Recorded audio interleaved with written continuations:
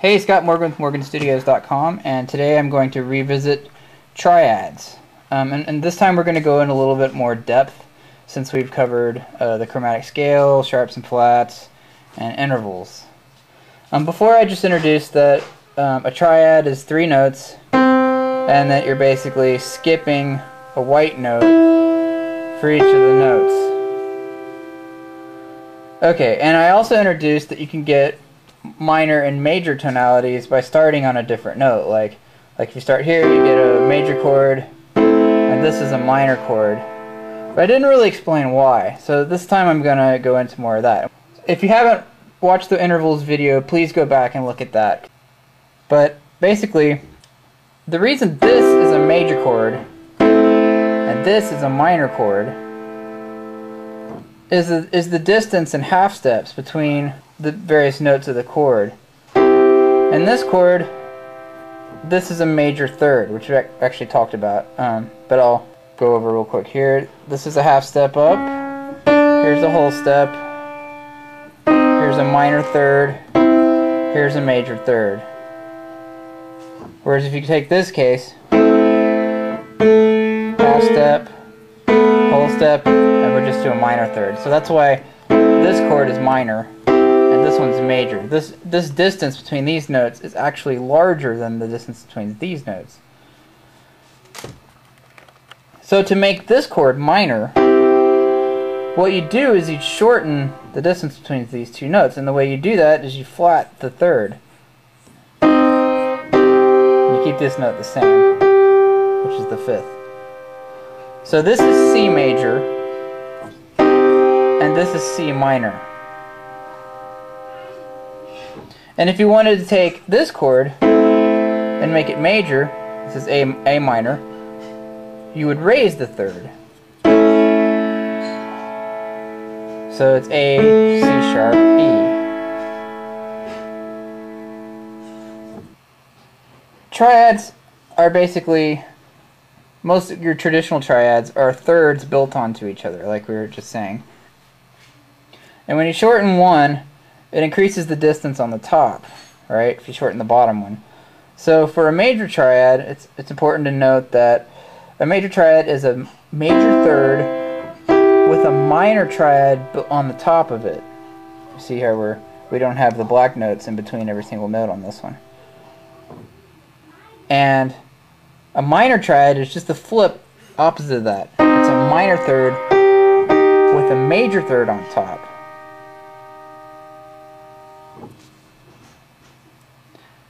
There's actually two other um, important types of triads. Well, there's there's lots of different kinds of triads actually, but the, the the main ones that are built out of thirds. There's two more of those, and they're the ones that have two minor thirds, which is called diminished. And it's a very dark sound. Uh,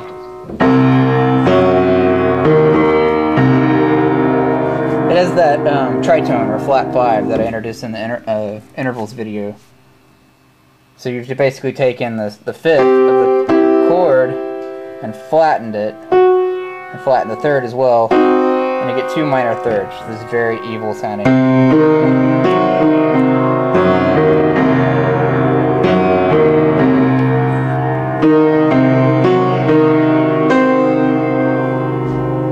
Now the opposite of that is what we call augmented. That's when you have two major thirds. To do that, you'd sharp the 5. And this is a kind of really spacey, uh, Bugs Bunny got hit over the head kind of chord.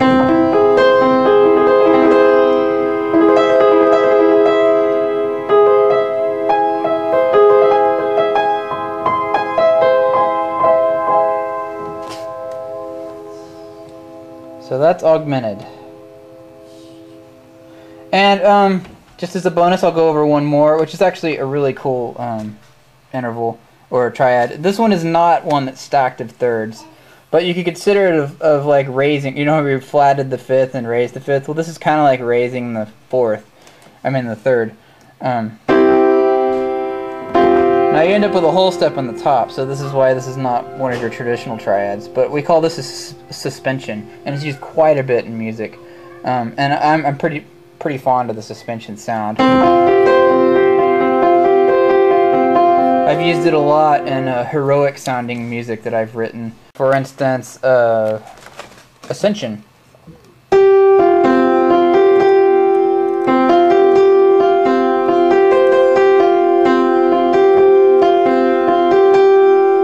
That's basic. Uh, I'm not sure I played it in that key, but anyway, that that's your basic idea behind the track, uh, Ascension.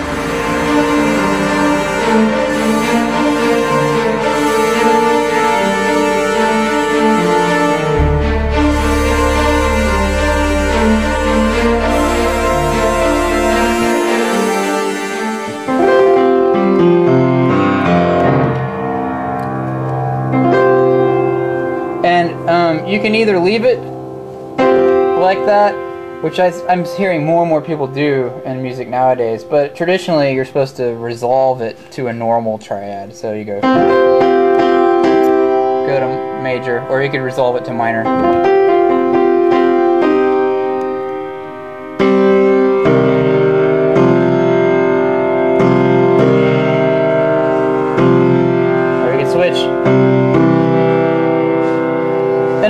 Another cool effect to do with um, these different tonalities is the switch between major and minor. If you if you listen to my album uh, Shrubbery of Darkness, there's some tracks that do this kind of thing. In, in particular, the title track. I think it's uh, kind of a cool spooky sound.